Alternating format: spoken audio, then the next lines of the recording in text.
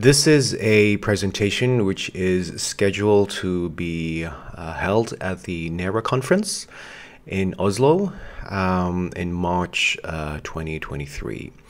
And the title of this presentation is called A MOOC About MOOC Making. And I make this video um, as an exercise in order to reflect upon um, and prepare myself in order to uh, do a public talk about um, making online courses.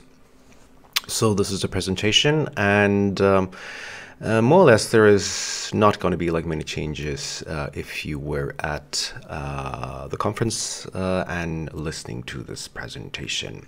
Just a couple of words about myself. Um, uh, I have uh, I started as um, as uh, as a researcher many many many years ago, uh, but uh, over the recent years I have become uh, more uh, wary of um, saying or labeling labeling myself as a MOOC entrepreneur.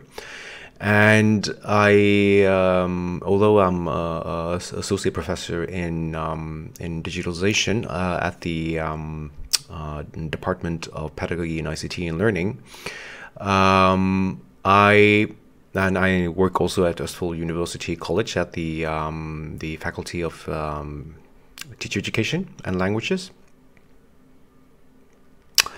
Uh, I have a sort of weird background uh, because initially I started as a social anthropologist and I conducted fieldwork among football supporters way back in 2002 in Barcelona. And um, uh, after that, uh, uh, the idea was actually to uh, research uh, refugee issues, but I abandoned that um, field and crossed over to educational research when I started to work for a, research institute called SINTEF which is located in Trondheim. Um, and there I did a lot of contracted uh, research for the Minister of Education, or the Norwegian Minister of Education, which basically consisted of uh, collecting data and writing reports. And I would say that the output from that work was to assess the effects or to give a sort of assessment on what is going on within the Norwegian educational system and, and is educational policies working or not. But I got in contact with, uh, I started to, to, to work with many sociologists, and um, thereafter I went over to work for NTNU. Uh, and that, uh, and I went, uh, I climbed the sociology ladder uh, from from from being a PhD candidate to become an associate professor, and that's where the journey on on making online courses started. And I was introduced to that concept back in 2012, um, and uh, I had no idea what that was. Uh, but after that, I have made roughly 15 online courses um, and uh, I say this because there is no job description for what I do. So my job consists of uh, innovating education, uh, and I innovate education in the digital realm, so to speak, which means um, uh, researching um, or trying to assess what is online pedagogy, what are the effects of digitalization education, what are the effects uh, on society, and yeah, many all these different topics and uh, artificial intelligence and all that kind of stuff. But um, um, um, so so so uh, so I was first introduced to, MOOC back, back in 2012, uh, and uh, the structure of the the structure and the content of this presentation is First, I'm going to address what is this MOOC, and then I'm going to talk about the um, emerging research on MOOC uh, in a Scandinavian or more, more specifically uh, how it applies to a Norwegian context. And then I'm going to talk about the project itself, which is called MOOC about MOOC making. And then there are going to be some questions, but in this video presentation, uh, I do not have any uh, session or time slot for asking questions from the audience. Uh, but anyway, uh, so what is MOOC? Uh, MOOC is uh, a sort of ambiguous term, but is mostly been coined by the Canadian um, researcher uh, George Siemens.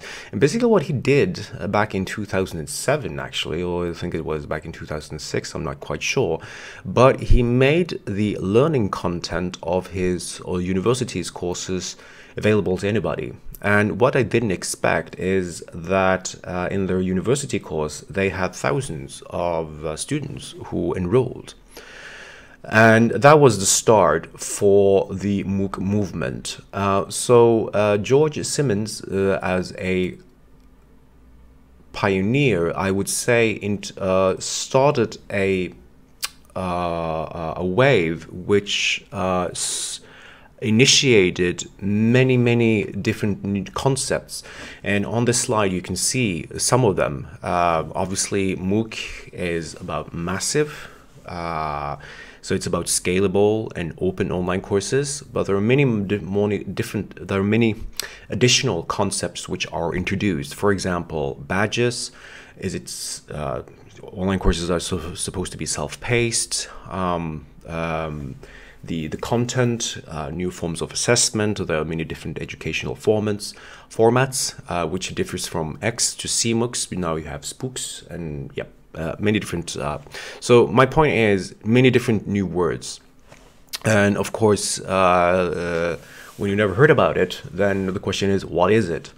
And uh, and it starts the sense making, but it starts also a production, and and in, you also initiate new structures, a new way to think about pedagogy and online pedagogy, and I have been part of that movement. So um, if you sort of fast forward to uh, 2021, the numbers should have been actually for 2022, but Class Central is a uh, is a website um, um, run by a um, former MOOC students, um, a, former MOOC student uh, who is uh, mapping uh, and charting uh, absolutely everything about MOOCs. Uh, and every year he publish um, a, um, uh, um, a report which is called MOOC by the numbers. And you can basically see here that for 2021, on the five largest MOOC platforms, which are Coursera, edX, FutureLearn, um, and some others, there are about 220 million uh, users or students. And there are many, uh, and there are also almost a thousand students, no, a thousand uh, universities who provide online contents. So there are quite staggering numbers in the sense that there is a an ongoing production of um, online courses, and the first wave, I would call it, which was sort of experimentation uh, is sort of past. Now you have, it's become more standardized, I would say. Now you can uh, debundle and rebundle online courses and you can offer what is called micro credentials. And um, and uh, we can only assume that these numbers for 2022 uh, are much more higher. So there is a uh, so so uh, uh, so there is uh, so, so basically what you can see what happened to Facebook when it started where it was uh, just an infrastructure and many users and content come together there's a lot of network effects and there creates an online community and there this have tremendous impact on how we run our lives and it also impacts organization and society at large so basically, what are we seeing here? What is the sort of pattern? I would call it, a, I believe that we uh, live in a, in a so-called platform society. Let's say concept which was introduced a couple years ago, um, and um, and uh, the effect of it is that we see a platformization of education. And basically, what you see, this is just like a very simplified model that I created, is that the platformization is consists of that you have a MOOC platform, which could uh, which is just empty, and the universities are providing content in the sense of uh, they publish online courses and it's ready made and then you have all these users uh, who come from all across the globe and suddenly you have um, what I would call um, uh, network effects.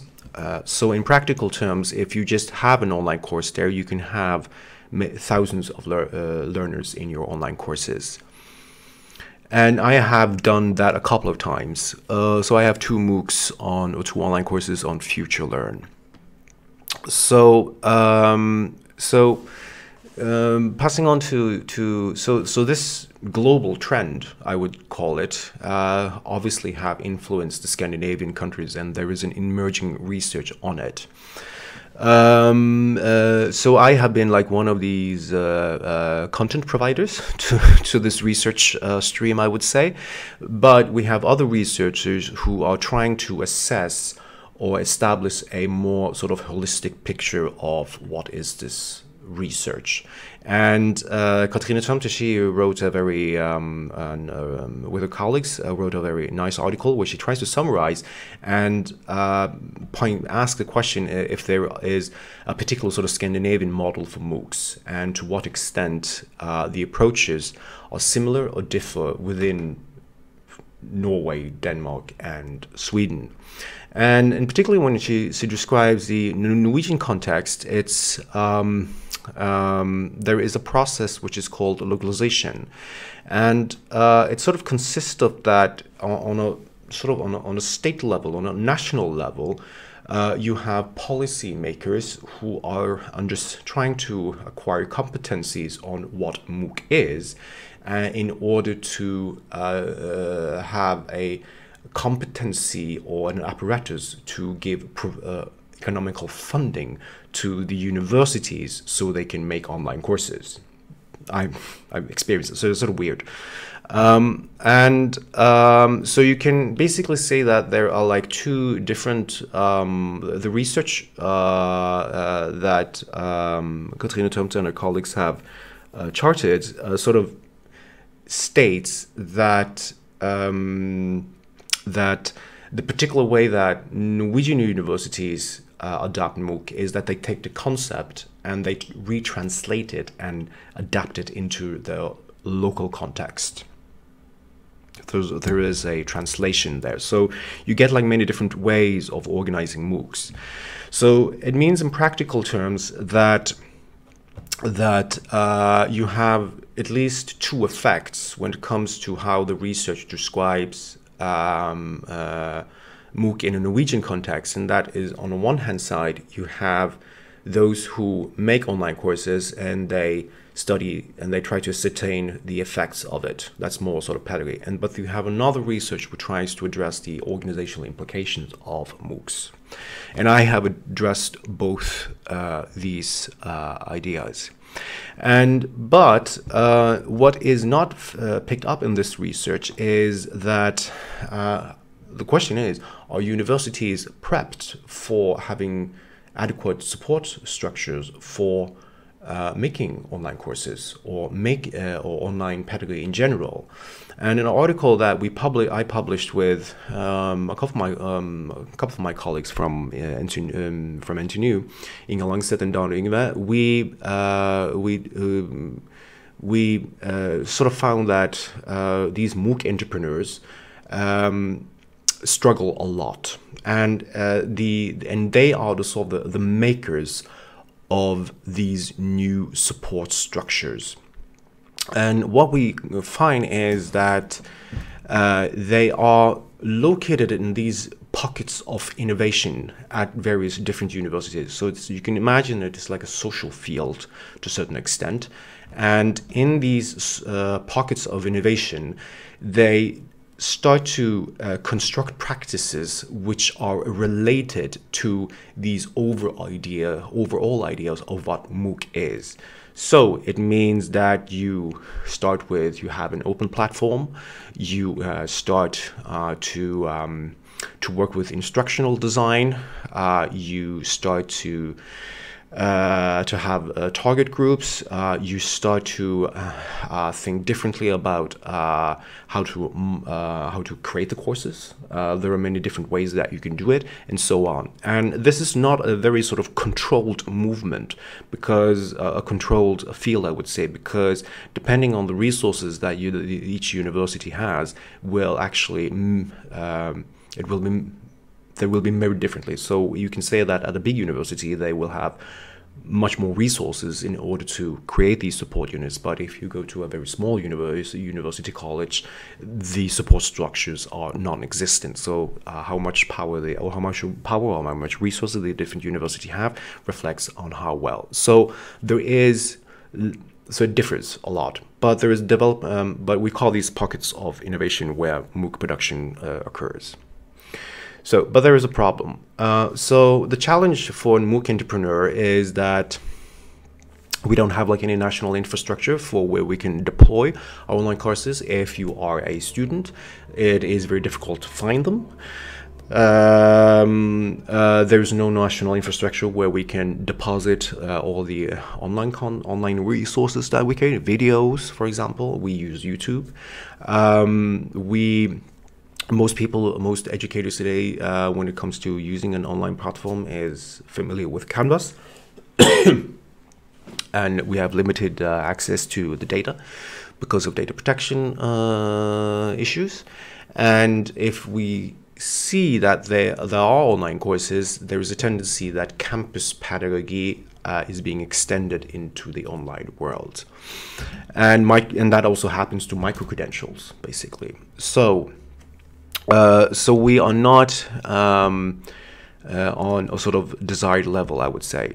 So the project, and that is the reason why we created this uh, project, MOOC about MOOC making. So it's basically a project which teaches you the MOOC pedagogy or the online pedagogy, and uh, and in the course you create an online lesson or a online course which is you define yourself and we have never done this before. So we, we applied the Norwegian Directorate for Higher Education and Skills, and uh, and uh, that was so uh, the, the project lasted from 20 to 22 so it was a two year uh, and we had three different target groups. We wanted to innovate. So we had teachers in high school which education higher education and people who work with uh, uh, with training in work life so the basic idea is that first the student learn the MOOC pedagogy and then applies it to make an online course themselves. And you have that so divided over two different. So I'm just going to uh, uh, and uh, address the online design. I have done a lot of data collection on this issue, but that is it is a lot of data to to to to uh, interpret and analyze. So uh, so I'm just using this as an occasion to to explain the learning design, and then I'll take question afterwards. Uh, but I just want to credit uh, the people who has been involved uh, because uh, at least I've been with the, it has been at least like one, two, three, four, five, six, seven, eight 9, 10, 11, 12, 13, 14, 15, yeah. roughly 15 people who have been involved. So it is, so if you enter into the online realm and if you want to make an online course, it demands a lot of manpower in that sense. So uh, these people, uh, these uh, faculties or these people uh, have contributed in various ways. It's either creating the online course, running it, or they have been part of the support structure or they have assessed the the uh, the uh, uh, online courses that was produced by our students. So I just want to sort of uh, make their names known to the audience. So what is the student to learn? Um, this is it. Um, um, this is Coursera.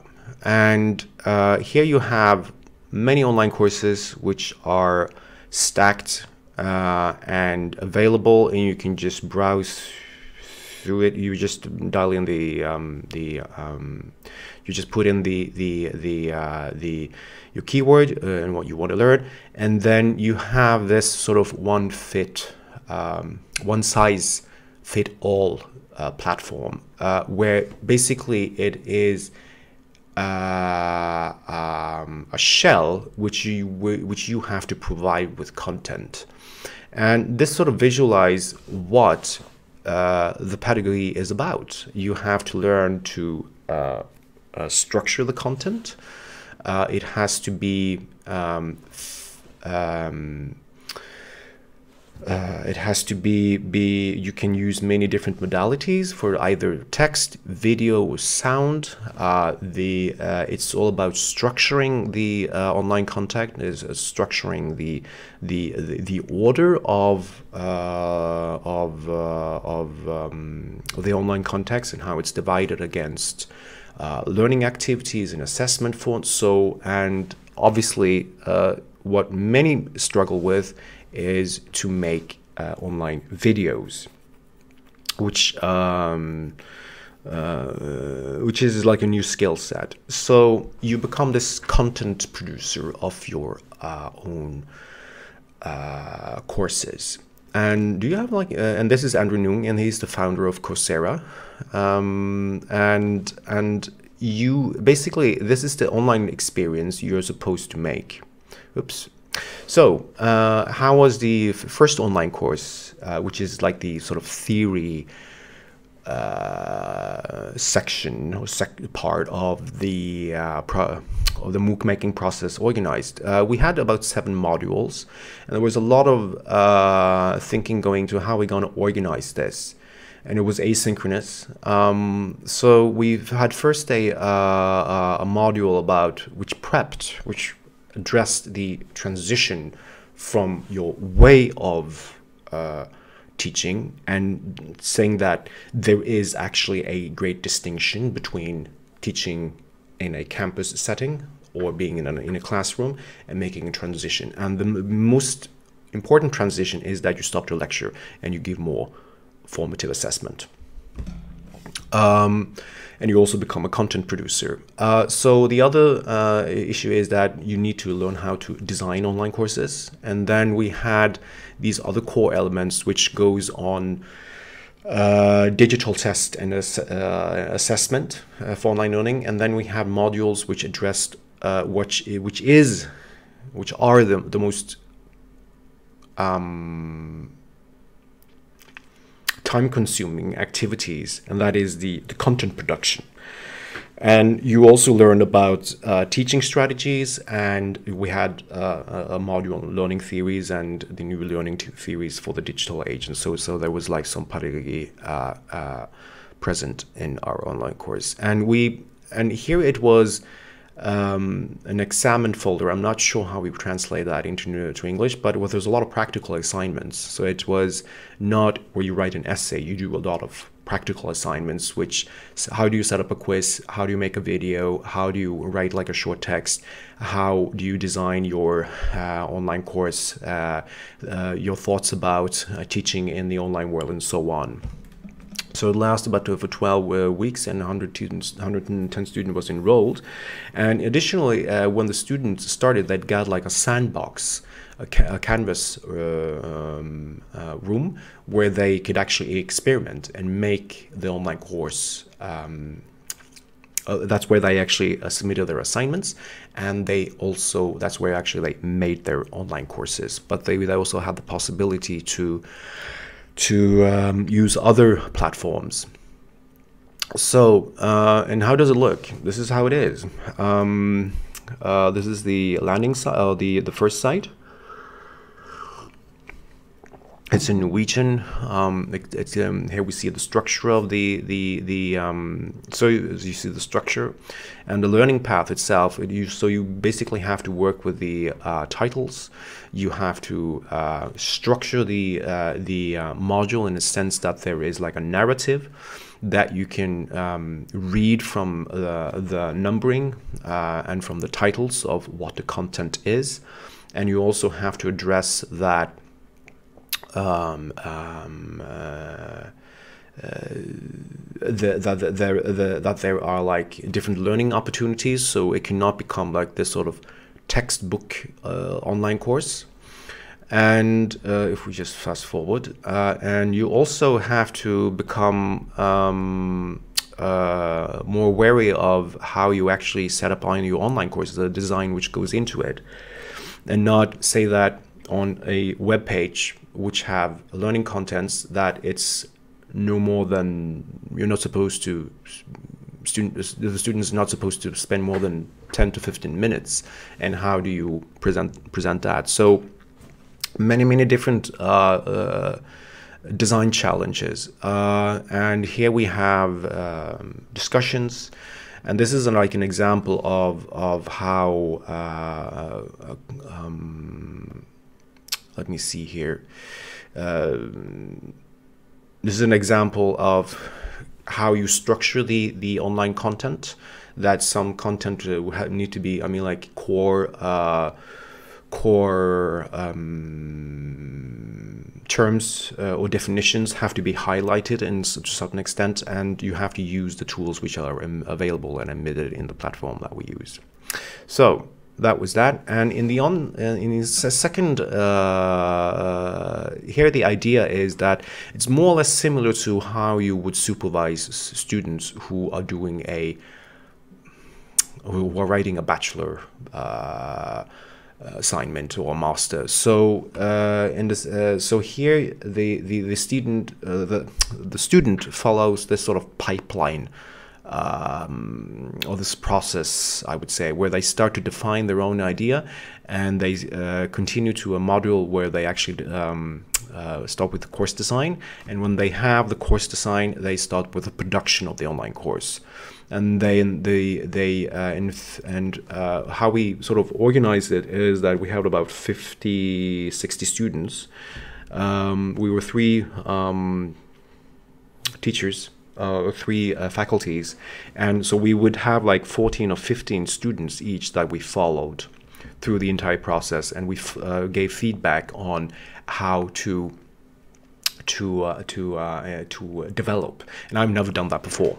So that was a completely different way, uh, how in comparison to how we did in the, in the first online course, where each um, faculty had a, uh, had specific had um, had assigned modules and they just gave feedback. Here we just followed. So like two different approaches. Um, so and it's not much more different. Um, um, same basic idea uh, that you have a um, you, there is module setup that we have to use, and we have to define this um, same idea, uh, which uh, you need titles to be clear. There has to be a numbering. The uh, uh numbering, uh, the numbering indicate what kind of learning activity, either if it's learning contents, or if it's learning activity, or if there's an assessment form, or if there is a quiz, or if there is like a discussion forum. Um, so and that is it. So some experiences. So we had like 134 enrolled students. They say it's like very time consuming. Um, yeah, we had 134 enrolled and roughly about 55 completed both online courses. It was time consuming and uh, too much learning contents. Um, and the students report that they learn, so they acquire new skills.